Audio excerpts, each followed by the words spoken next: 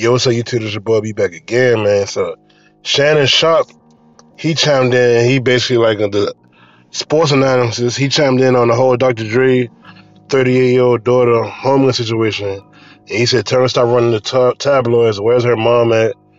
A 38 year old grown woman trying to shame her father for t- taking care of her, the responsibilities she created. He was basically just going on and on about why he shouldn't help her out no more.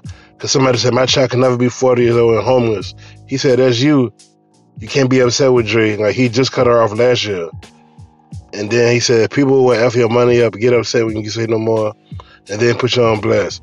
Because this whole thing, the reason why Dr. Dre cut her off, because she did an interview basically downing him, like putting him down. And I'm going to keep it real. Like, that's messed up. That's messed up. Like, he's still going in. Somebody said he's a billionaire. He said, congrats to him.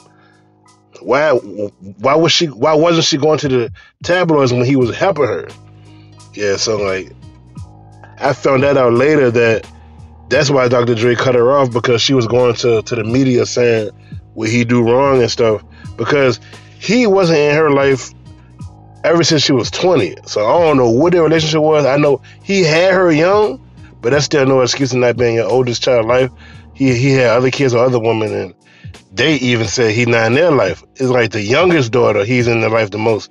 That's that's typically how dads do. They have kids all their life, but the youngest ones they stay in the kid life the most, man. But what's your opinion on this? I already gave mine about he should if he's worth all that money, he should.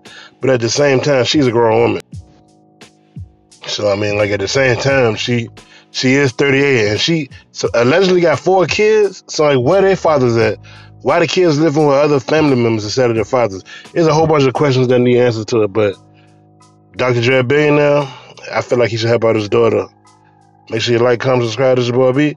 I'm out.